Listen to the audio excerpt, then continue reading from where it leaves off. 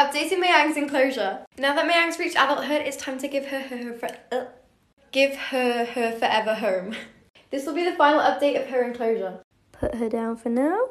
Okay, so this is going to be her home. I'm also going to replace the glass lid with mesh so that she has two air circulation sections. Time to clean it out. The enclosure actually housed a spider beforehand, so it's got loads of cobwebs that I need to get rid of. This is the enclosure that the reptile centre gave me. Oops, I forgot I put hoppers in there.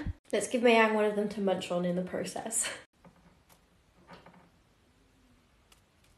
Yes. Oh, this one's actually wriggling. Okay, so I've just soaked the cocoa fibre up in water and now I'm going to put this as the substrate. Whoop. I'm also then just going to sprinkle a little bit of bark over the top as well. Stick. Decorations. Pretty. Another stick. Finished. Now time to make the lid. Ta-da! I think it's time to put Mayang back in. Come on. There we go. Yay.